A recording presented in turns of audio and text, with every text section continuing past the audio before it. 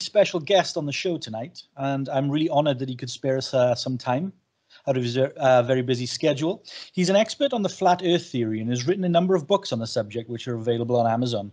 He also runs a YouTube channel called Flat Earth Clues, which at the time of writing this has amassed over 10 million views and has almost 100,000 subscribers, which is very impressive. He's also the subject of a Netflix documentary titled Behind the Curve, which, by the way, is, fanta- is a fantastic watch. And if you get the opportunity, I highly recommend that you check that out. His name is Mark Sargent, and he's joining us from his home in Seattle, Washington, in the United States. Mark, hello. How are you doing? I am doing very well. How are you? I'm I'm well, thank you very much, um, and thank you for coming on the show. Um, I appreciate it was quite short notice for you, um, but we really appreciate you coming on. Ha- happy to do it. Happy to do it. Okay, so um, obviously we want to talk about um, uh, the flat Earth theory, something that um, uh, your, um, I believe, as the LA Times uh, called it. You're the main organizer for the flat Earth movement.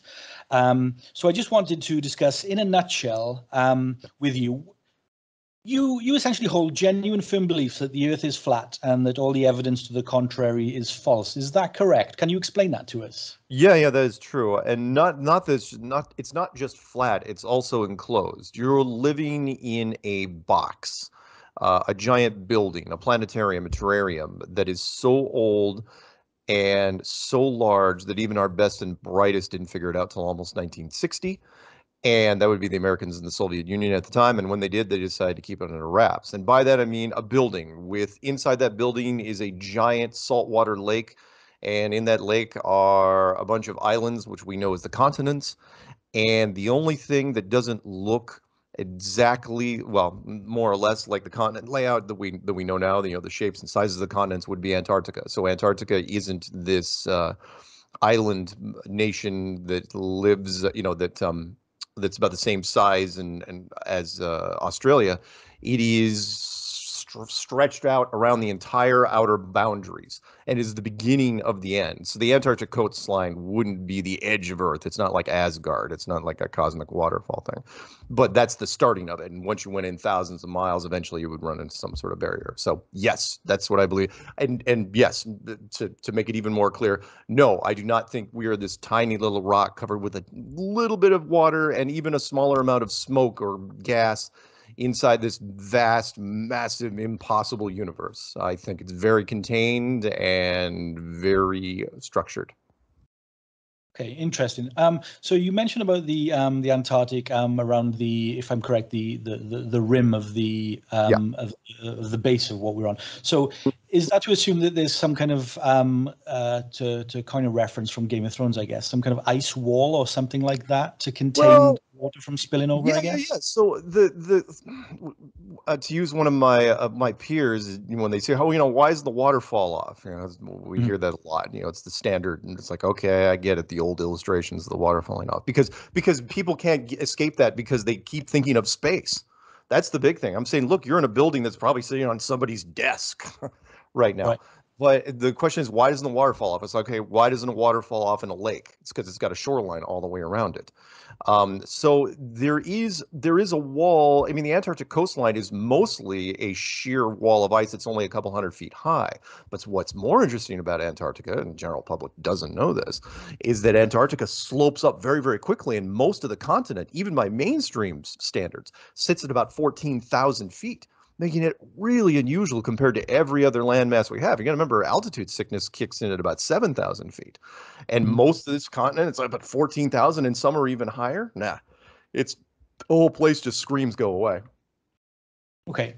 So, um, so I guess, um, I guess my next question then is: At what point did you start believing in this theory, and what convinced you of it being um, the the, the, the correct way, the, the, the way things actually are, as opposed to the the the narrative that the the science community rolls. Oh yeah, yeah. It was. Um, I got into it initially in 2014 when I because I never got married or had kids, and I'm older. You know, I'm in my early 50s now.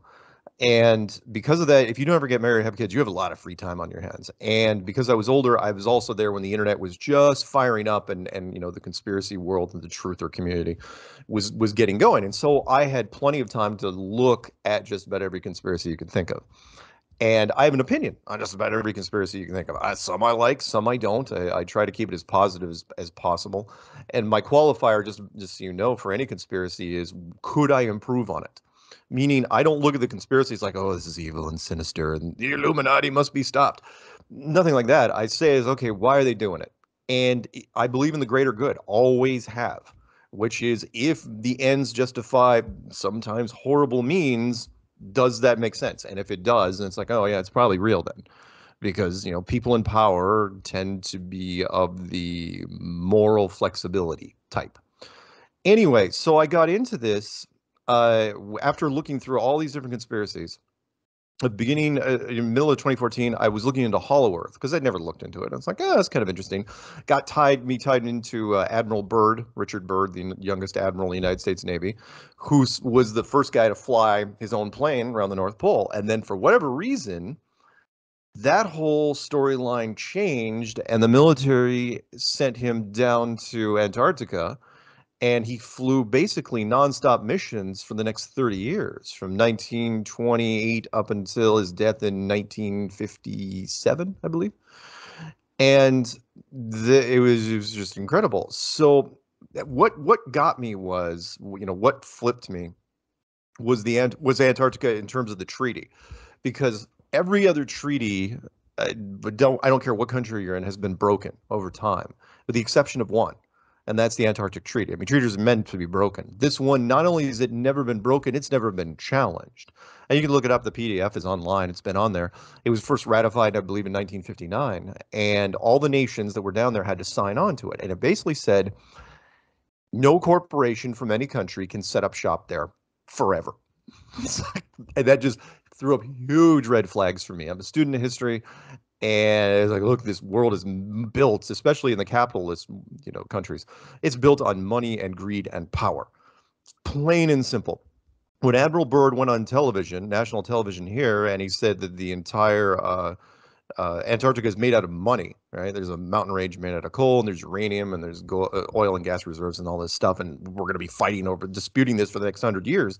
And then a couple years later, they said they start working on paperwork saying, "Yeah, nobody should ever go down there ever. Uh, let's not talk about it." What blew me away was not that uh, the corporations can't go down there, but they can't even talk about it. So British Petroleum, for example, wanted to uh, run full page ads in the London Times, you know, back in the day, and say how great it would be for us to expand our energy empire and do this. They're no, they they never did it. You somewhere along the line, the the higher ups talked to the you know, presidents of these companies and, and made them sign non-disclosure agreements and said, oh yeah. No one could go down there. It's national security. You're not even allowed to talk about it. That's it. Have a nice day and that's huge. I mean, anyone in the truth community is like, look, there are very few issues that are bigger than money. I mean, money is a, was an old movie line. Nine out of ten problems in the world revolve around money. This is one of those things that's so big. They said, you know what, the trillions of dollars in resources, not even, not even on the table anymore.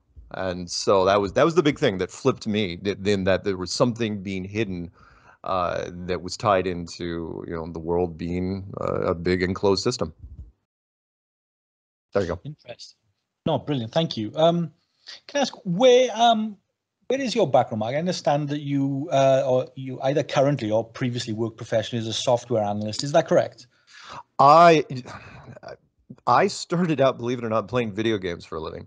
Back okay. in the yeah, back in the day, uh, I won a little video game tournament back in '94 and parlayed that into a software gig where I was uh, I was a ringer first of all for for this gaming company out in Colorado, and went around to all the conventions and and then I became a game producer for the same company eh, where I was recruiting guys, the, you know, software developers and graphic artists and music guys and, and putting them all together. And that, that was a lot of fun. And then the video game industry started changing, started getting really, really big, and this company just couldn't keep up. So I jumped over to time and attendance software. And if you want to call it a software analyst, that's fine. I was mostly in high level support. I was doing a lot of beta testing, um, and and not not engineering, but I was doing sales engineering. So I would go, I would work with the sales guys, and you know, because they want to sell the software a certain way. But time and attendance software, which is basically timekeeping software, is so broad and so so complex potentially that what really helped me was I had to take this really, really broad software package and I had to boil it down for every company that I went to. I, I traveled around the country and sometimes outside the country and installed in blue collar factory environments these time clock systems and I would train the people on on how to use them. And I would I was base I got very good at boiling down complex things into what you should know, the lowest common denominator and I did that over a number of years, and it was it it just it's how I think now to where I you know I can look it up. I look at just about any any subject and I say, okay, stop making it too complex. What is the what is the basic basic thing? So when like for example the the flat Earth, I yeah the the flat Earth is the just the term that's that's the lowest you know denominator I can bring out there. Most of the time, I love to tell people it's like, look, it's probably virtual if it's flat and it's enclosed, it's probably digital. You know, the the whole Matrix 13th floor thing, that's what I really believe in, but the the general public can't grasp that. Um, you know, the Matrix is what 22 years old now, and most of the people didn't get it. it's like, oh yeah, they they got the special effects and a cool storyline and very very very slick, but they didn't understand the concept. Uh, or the 13th floor, uh, which was based on a um, a 70s movie from Germany uh, called World on a Wire, which was based on a 60s book called uh, Simulacron 3. You know, Simulacron simulation. Anyway, sorry, I'm going off into the weeds here. No, no, no problem.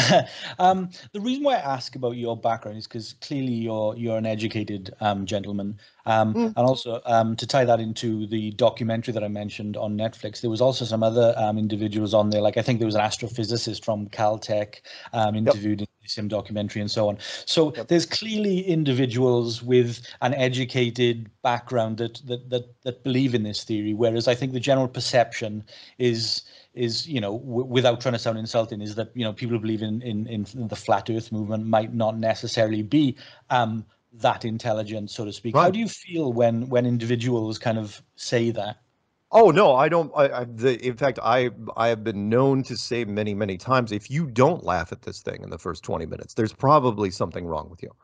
Uh, flat Earth, the conditioning for people, everybody, is so strict and so deep that your your reaction has to be you know you have you know the the five stages of acceptance you know denial anger um bargaining depression and acceptance the first the first instinct is always denial. Every including me. It was like no there's no way. There's no freaking way. Why? Well because that's what we were told which is why i love the um the wonderful george orwell quote from uh, 1946 i believe where in fact do i have that line around here? I think i do. Let me read it verbatim which is um, he said it was written uh, 1946 uh, in the Tribune, number 27. Uh, most people, if he was not a flat earther, by the way, most people, if asked to prove that the Earth is round, would not even bother to produce the rather weak arguments I've outlined above. They would start off by saying that everyone knows the Earth to be round, and if pressed further, would become angry. In a way, Shaw is right. This is a credulous age, and the burden of knowledge which we now have to carry is partly responsible. And what he was saying is, is that science gets away with murder now basically, if you wear a lab coat and you have any sort of credentials at all, you can say whatever you want, and the general public's going to believe you. And they'll say, it's like, well, this person obviously know knows more than me, therefore I should believe him. The bigger question was, in 1946, how did everybody know the world was a globe? How did everybody know? NASA wasn't even founded until 1958. There were no space missions, not even close. So how did everybody know? And when you put it to them, there's this the wheels start grinding in the average person, which is it's it's not that they know, it's they've been told. And there's very different things there, which is why I put out the challenge to people. I say, look, if you think you see, I have had so many people, thousands and thousands and thousands of people that have told me I've seen I've seen the curve from an airplane. Okay, great, fine, take a picture of it, put it up, take a picture of it, put it on your laptop or your screen or whatever, and hold a straight edge and tell me if that curve's still there. If it is, send it to me. I will quit flat Earth tomorrow. No one has sent me anything. Now, of course, I've never gotten any apologies e- emails either, but that's okay. Again, it's not that they see it. And Again, this is straight out of Orwell, which is it's not that they see it, they want to see it. Again, very, very different things. It's five lights, four lights. You are told there's a curve over and over and over and over and over again since you were six years old. And then, uh, so when, what happens? You know, when somebody challenges that, it's like, well, it's a curve. In fact, in our country, for example, I can't speak for you guys, which is, you know, we have the American flag in the corner of every classroom. And if you make it from kindergarten to graduation, just high school graduation, you, I mean, there are people that join the military partially because they see that that flag up in the corner. Well, right below that flag in most classrooms is the globe. But what's the difference? right? You know, look up at the flag. It's like, oh, that's where I live, right? You look down at the globe. It's like, oh, that's where I live. Well, the problem is, is that the flag that actually represents the country you're actually in. The globe, that's just a little toy model that nobody's ever seen. You know, not from space. Anyway, there you go. So obviously you think that uh, I, I, when I when I say science, I mean the accepted science narrative, um, yeah. and you know all those that purport the the global Earth theory. Um, mm-hmm. You you say that's part of a conspiracy in that case. So yeah. what do you think the aims of that conspiracy are, and and who's involved in that conspiracy? Uh, like any conspiracy, most of it's around control and power. Uh, you know, information is the most powerful thing there is, is out there. Forget about money and other resources. It's information. If you know the outcome, I mean, look at the um, the, the wonderful Roth, Rothschild story about how they knew what the the outcome of the Battle of Waterloo was, for example, before the the British government did and because of that the, you know the stock market you know they spread the rumor the stock market crashed then the real information it's like oh no the british actually won and then it's like but they had cornered the market at that point they had bought all the stocks when they were really really low so when we're talking about power here think about this because people have asked me um, in fact what was the most famous one i'll drop a name for you um, uh, piers morgan asked me that very question and he says, uh, you know, he goes, why, why keep it a secret? Why, why not tell people? I go, and I asked him, I go, really? W- would you break this story? Would you tell people? And think about that for a second, because the ramifications. By the time you figure it out, now, if telling people hundreds of years ago, that's one thing. You can mold society and civilization to your liking, but if you don't even know, as a, as, we'll just call them the Illuminati, right? I'm, there's so many different groups. I'm not going to say who's at the top of the food chain. I don't know, but if you're in a big Illuminati meeting and in 1960, when civilization has already been built, you know, the cement has hardened, the paint has dried, do you tell the general public? Do you release it to the general public, given that this is some of the most valuable, if not the most valuable piece of information in our history? Well, somebody says at the end of the table, well, what could go wrong, right? Three things could go wrong, and they're disastrous which is first off, the academic world would be in utter upheaval for decades. You know, think about it. Astrophysics and astronomy, they're gone pretty much forever. You have to rename them. You don't even know what to do with those. And the remaining physical sciences, uh, geology, hydrology, archaeology, biology, So anything with ethology has to be rebuilt. Libraries have to be emptied. It's just chaos. And that's every university in every country. That's a lot of academia. Uh, economics, the world markets have to close for months because you don't know what it means. You know, the, the ramifications there are huge.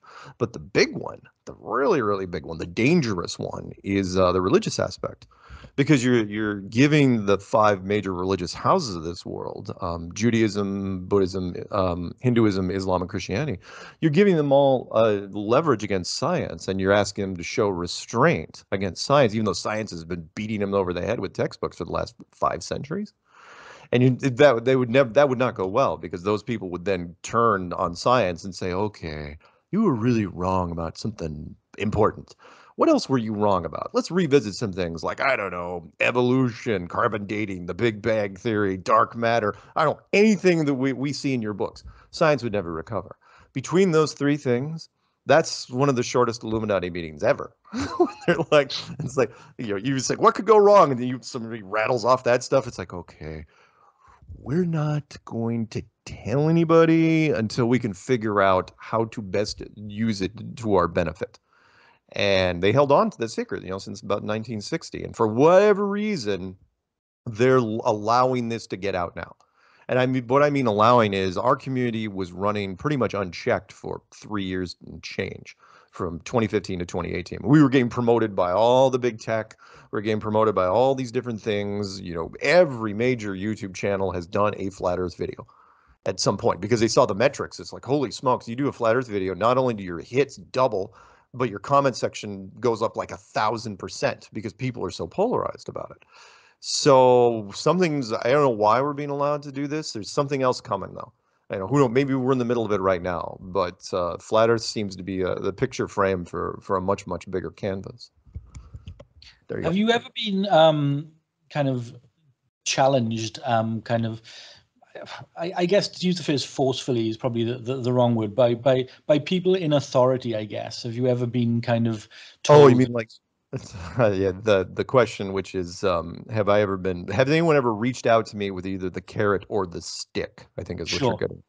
Absolutely. Uh, no, and but that, that doesn't help me most of the time because people think, oh, Mark's getting away with it because you know I've been called a government agent a number of times because I don't get challenged. But at the same time, it's like, nah, it's not what you might think because I also put myself in a position where you can't really, there's not much you can do in the way of leverage. What are you going to do? I mean, I never got married and never had kids. Uh, my circle of friends is in the community.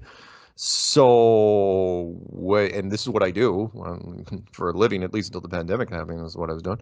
So there's no, no one's ever, no black cars ever followed me. Um, no one's ever approached me with a briefcase, you know, two briefcases usually, um, a pile of money in one and a gun in the other to make the point. Kind of like what they did with Joe Rogan, which was, you know, Joe, Joe was a great example of, of what could happen which was, uh, you know, the, he was beating the crap out of NASA on a regular basis, and he was not a flat earther.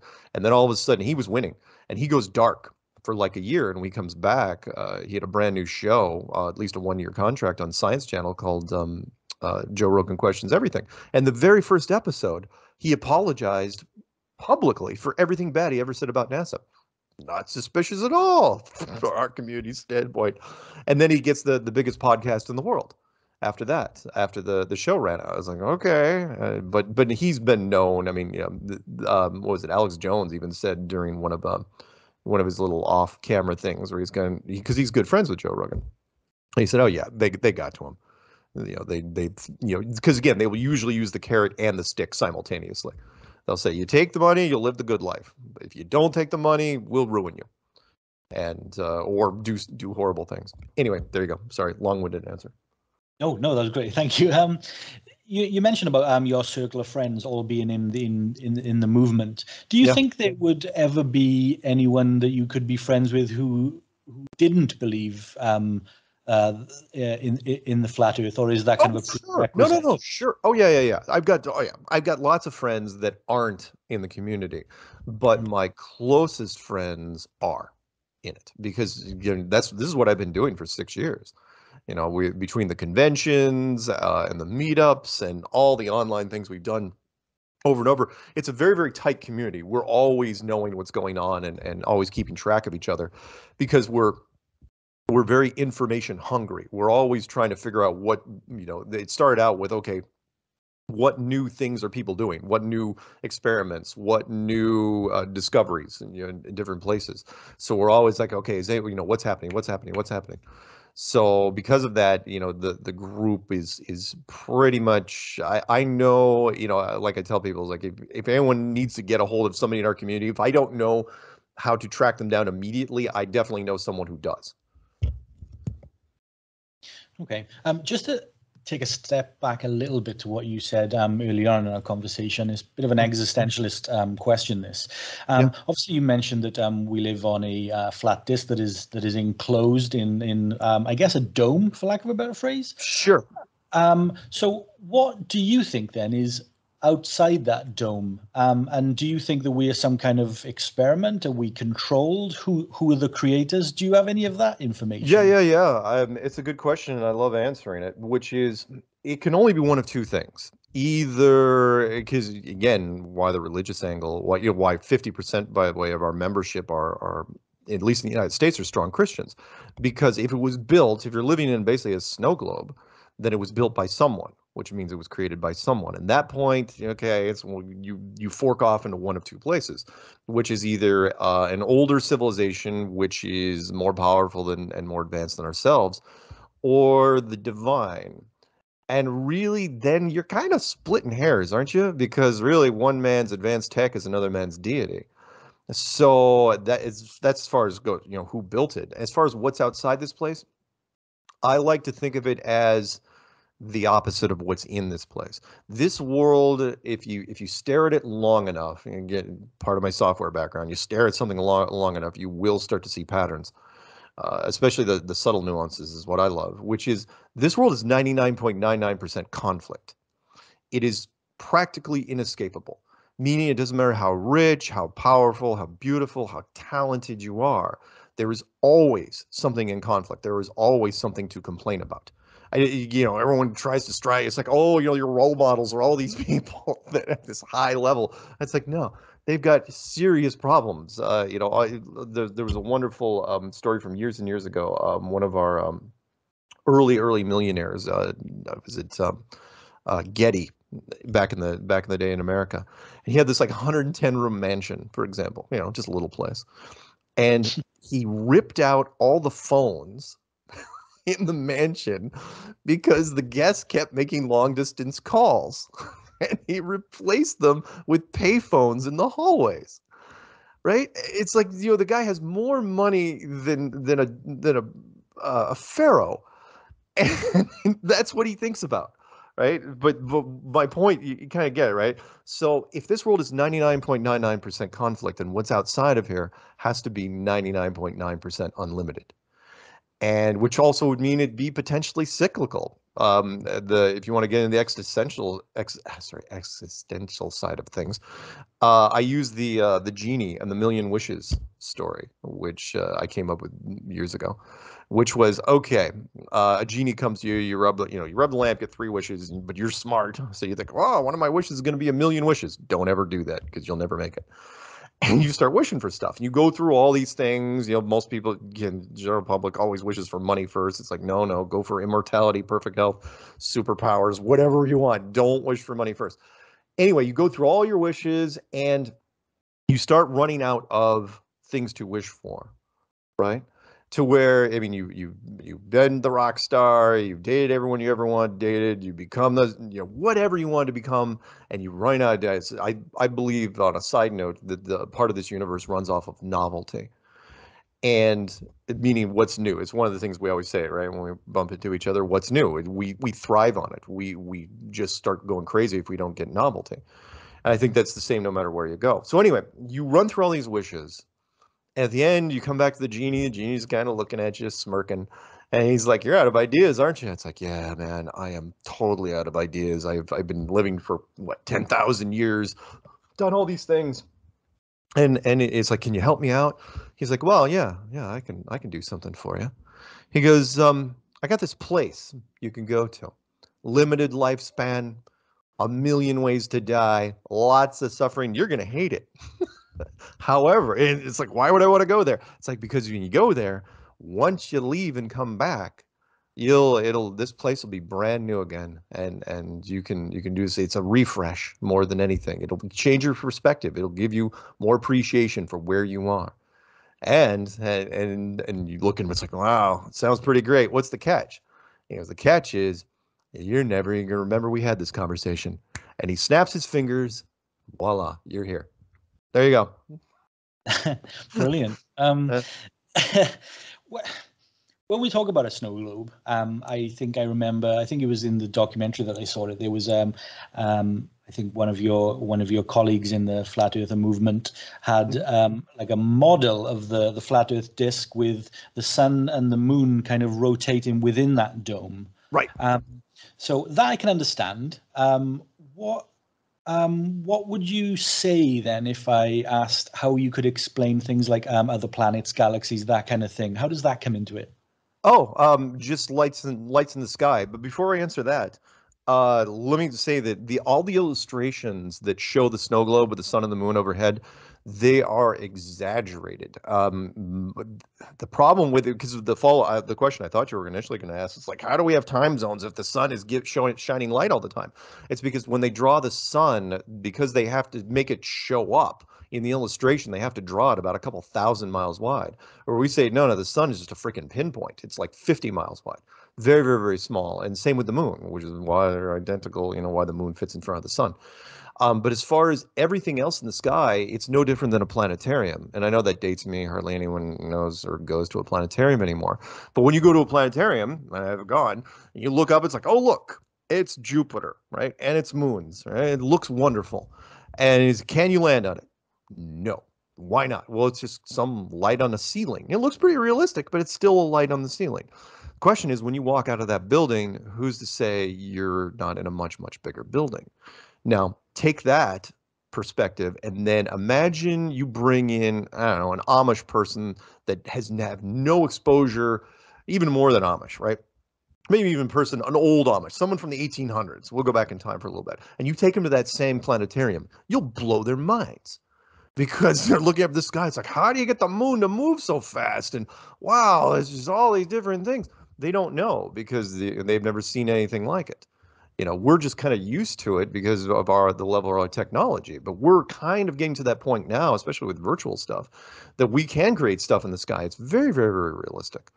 Um, but who's to say that the the the beings or whatever you want to call it that built this place uh, didn't have access to technology? Imagine what we could do if we didn't kill each other and lived, you know, another thousand years as a civilization. What what could we come up with? So where does where does NASA come into all this thing? Because I understand yeah. that um, oh, I understand boy. your your views on NASA are not very positive, but um, well, when, when I don't. They... No, no, no. It's it's not that I hate them, but I don't because I don't blame them for what they did. They did what they okay. had. To. Remember, remember the greater good that I, that I mentioned earlier. Yes. NASA did what they had to do because they had to do it, and I probably would have done the same thing. So if you figure out in 1955 56 during Operation Deep Freeze that the world is indeed a snow globe, what do you do?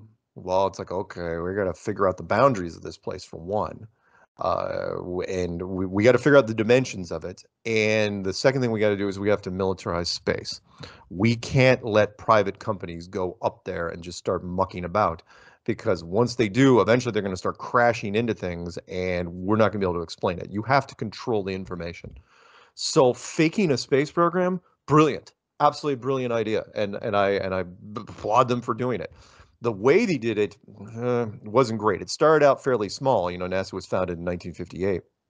But they did two things. They announced the Van Allen radiation belts in 1959, which said that, oh, yeah, there's these super, super thick, huge, horrible belts of radiation. You'll kill anyone that goes through it. That that didn't go well. That was a, that was poorly timed.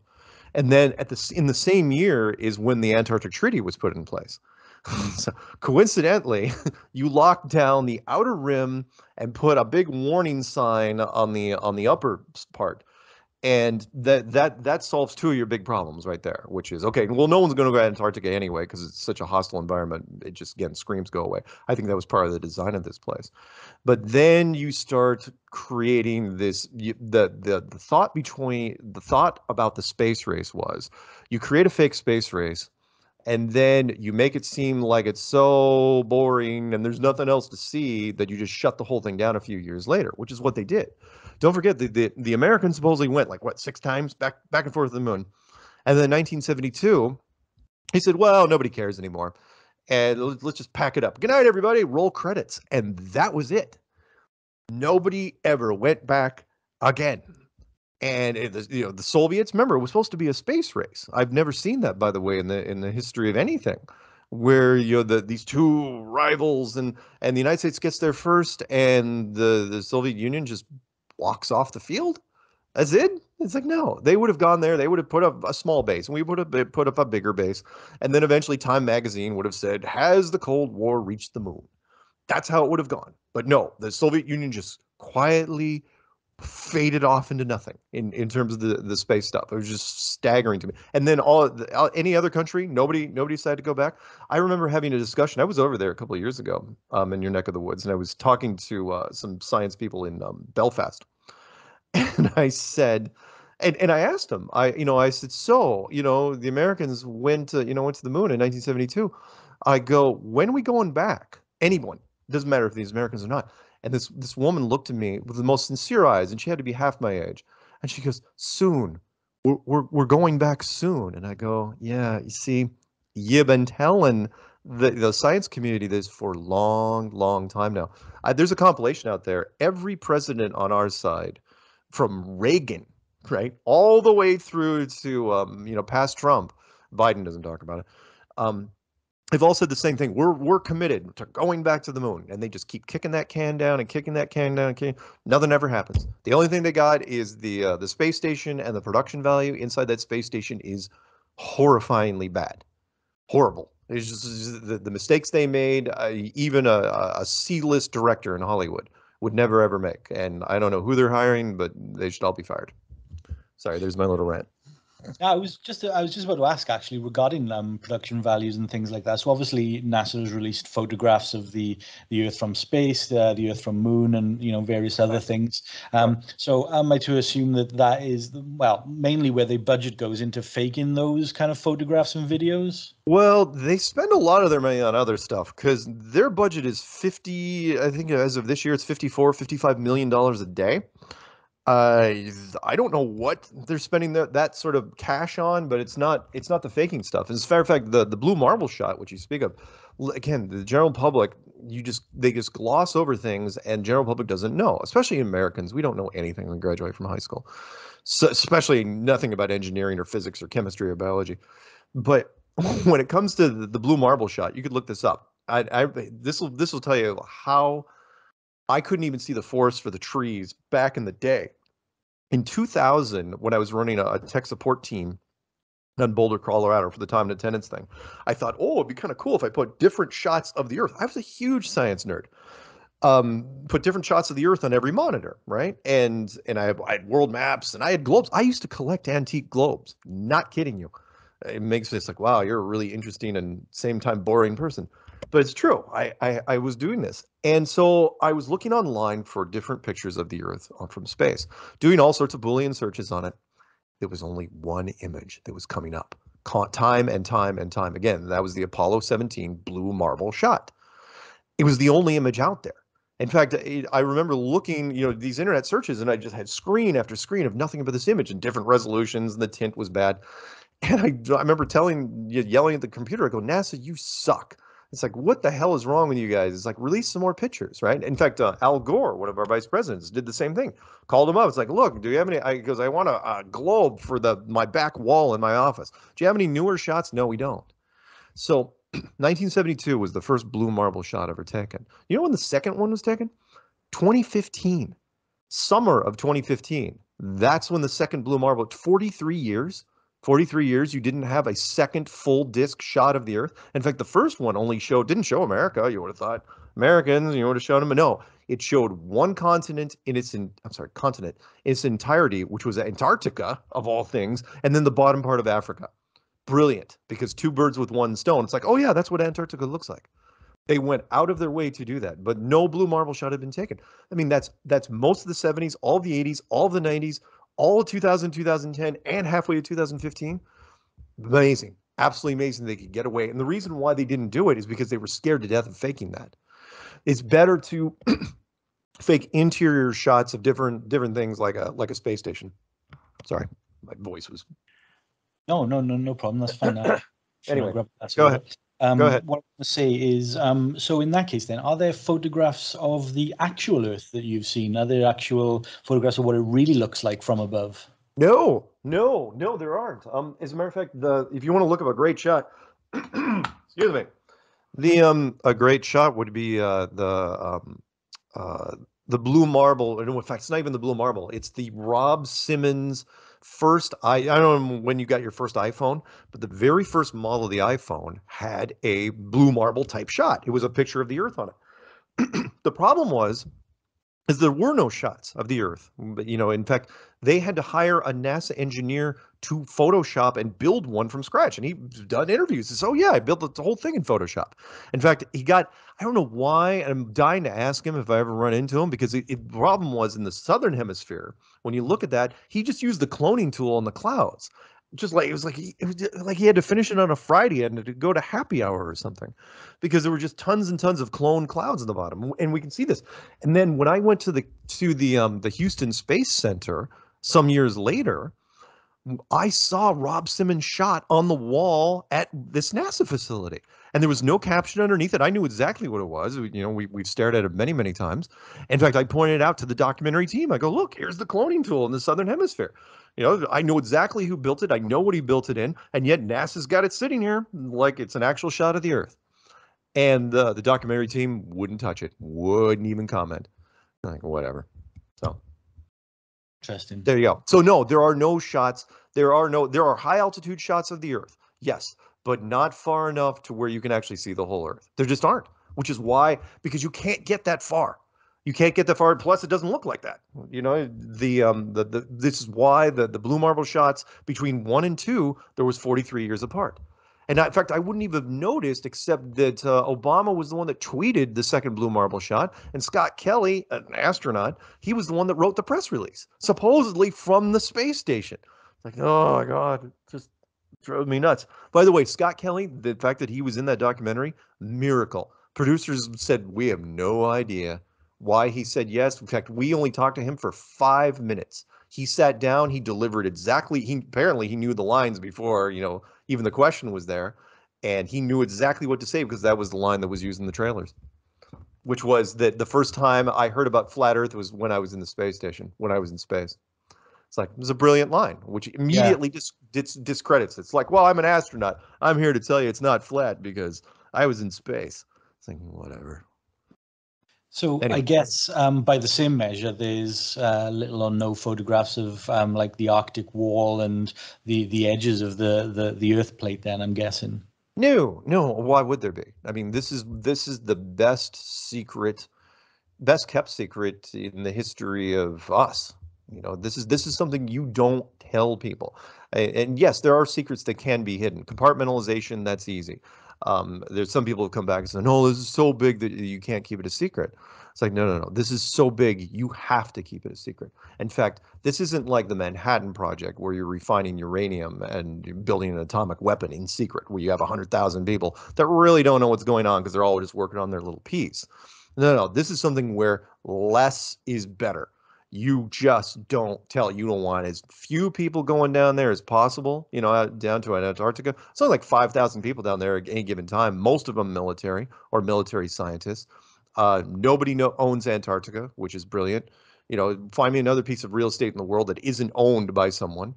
Uh, if you want to go down there do your own expedition, you have to apply for a massive amount of, of permits to from from multiple countries. And by the way, by the time you're done doing that, they know exactly where you are. And the GPS system, if you're going to use that while you're down there, it's going to take you exactly where it wants to take you. Everything, and they've had years and years and years to refine this. Back in 1960, when they first figured it out, it, you know, the general public wasn't really exploring stuff. The internet wasn't wasn't even close to being built yet. There was no social media. There were no smartphones. Uh, you had some limited television, newspaper, and radio. So information moved pretty slow. And over the last five, six decades, they refined their process to where now they've got multiple layers of barriers in your way to stop you from figuring this out.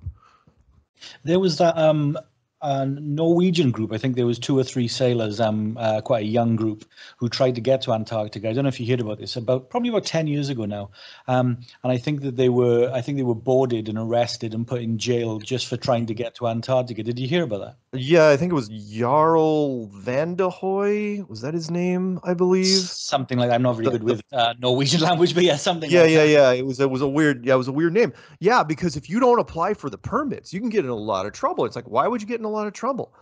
Um, it's very strict what's down there, and I know some people over the years, including me, you know, say, well, there's an Antarctic Defense Force, but they don't have to. You know, our radar and, and detection abilities. If you if you see someone even getting close to that thing, you can you can kind of wave them off. Plus, they've enhanced the treaty over the years. Now you can't even, uh, you can't even. Like with boats, you can't do stuff below like the 60th parallel and back like and then uh, I think it was the beginning of 2017, they banned drones from Antarctica. It's like, why would you ban drones?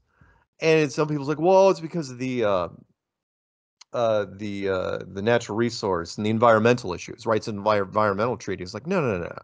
I mean, the, the treaty was built before environmentalism was even a, a word. I mean, remember, Greenpeace didn't even fire up until the 70s. So why would you lock this thing down in the 50s when you know when we were all about exploring everything? Like, uh, just it's good stuff though.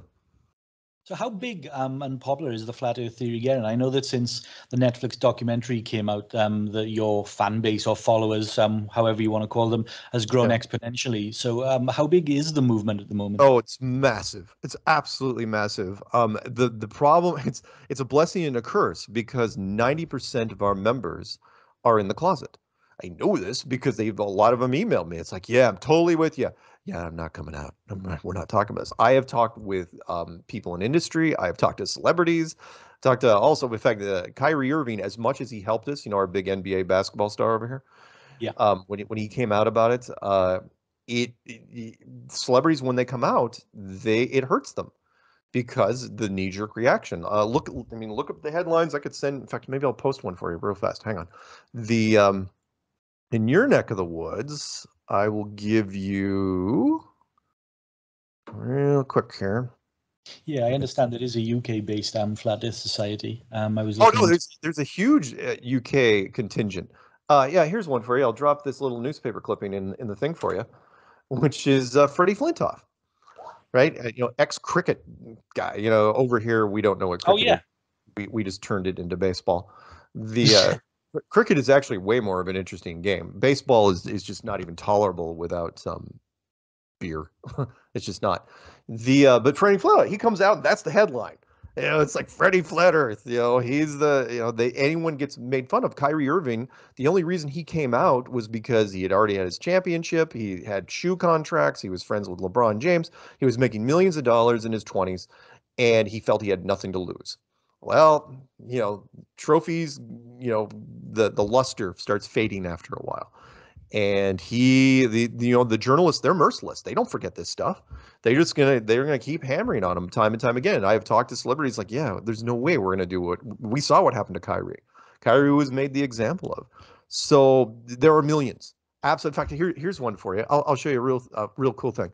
So you could punch this up on you. I don't know if you have a, a laptop or whatever. You don't need the app for this which is we uh, we we eventually made our own app, and uh, on this app we just launched maybe four weeks ago uh, something called a Flat Earth Friend Finder.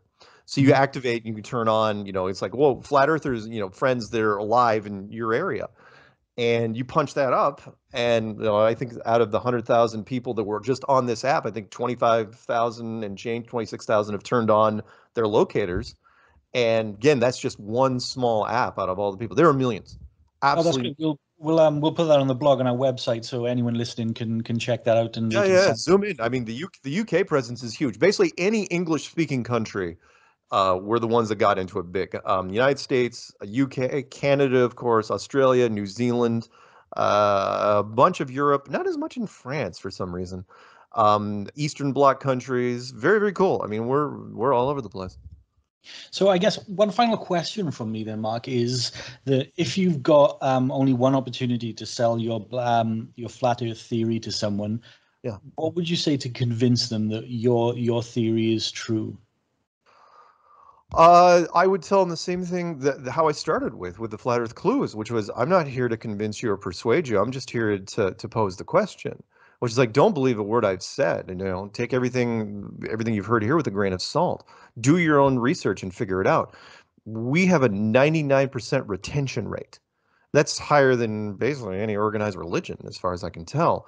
Which is because I'm not the one to convince you. You have to convince yourself. Uh, you know, do your own research and ask questions. And once you do, if you're the one that tore down the globe yourself, the reason why we have such a high retention rate is how can you it's kind of like the matrix thingy right? Red pill blue pill. Once you're out of the matrix how do you go back in? You can't because you were the one that left voluntarily. Uh, if you abandon the globe and get into the whole snow globey thing uh, why why would you ever go back? How could you go back? So which is why i have to put a warning to anyone that might be listening which is like and this is not reverse psychology it is absolutely not. If you like your way you know way it is right now if you think you got a good beat on things and you wake up every day you know thumbs up everything is awesome don't do it. Don't look into flat earth i'm warning you because once you do you will you know eventually you'll get to this moment where you can't turn back there'll be this moment where it's like, holy crap, you know, you you've gone too far and you can't go back. And then next thing you know, you'll be emailing me. It's like you wrecked my life. and, in a good way, but at the same time, you you'll miss some of the other stuff. You know, ignorance is bliss. So there you go. So, Mark, I have to say, I have huge amounts of respect to anyone who fights for what they believe in, um, even when it goes Thanks. against the so-called accepted narrative. Mean, obviously, past scientific pioneers such as Galileo, Albert Einstein, Alan Turing, Mohammad Reza, etc., to name a few, were all persecuted for the um, the advances in science that they discovered and tried to bring to prominence. So, I genuinely applaud you for doing the same. Um, thank you for your time tonight, Mark. Um, Thank you. For those who would like to hear more from uh, Mark Sargent and his flat earth theories, check out his YouTube channel at youtube.com forward slash Mark K. Sargent. And also be sure to check out his documentary on Netflix, Behind the Curve. It is fantastic. Mark, thanks again for coming on. I'm genuinely so thankful that you spared us the time to, to talk to us tonight. Thank you. Thank you.